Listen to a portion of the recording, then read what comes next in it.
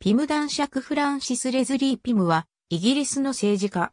マーガレット・サッチャー政権にて第7代外務、英連邦大臣、第7代国防大臣を務めた。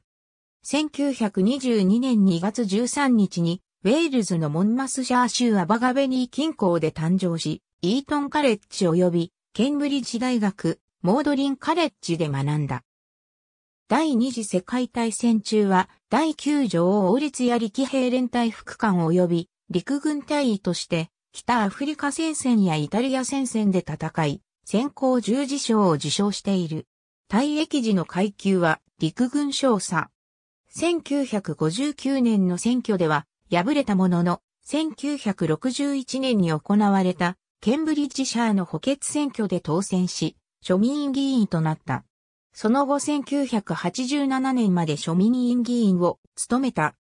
1964年から党の院内幹事に就任し、エドワード・ヒース政権の1970年から1973年には与党保守党の院内幹事として、また1973年から1974年にかけては北アイルランド大臣として入閣し政権を支えた。また、1979年から1981年にはマーガレット・サッチャー首相の下で国防相を務めた。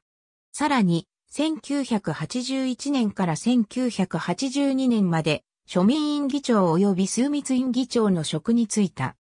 1982年、フォークランド紛争の最中に第6代キャリントン男爵ピーター・キャリントンが外相を辞任したためピムが公認となり、紛争期間中外相を務めた。しかし、1983年の総選挙の後、ピムは閣僚名簿から外されてしまった。ピムは、サッチャー政権下では穏健派とみなされていた。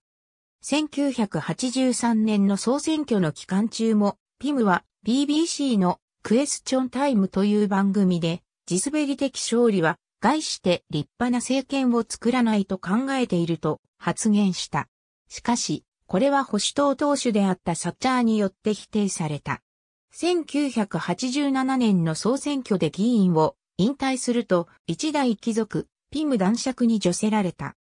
1989年、脚本家のジョナサン・リンは BBC のコメディドラマであるイエスプライムミニスターでピーター・カートライトが演じた院内総務はピムが手本になったと述べている。なお、ピムは17世紀の政治家、ジョン・ピムの子孫と一般的に思われているが、これは誤りである。ありがとうございます。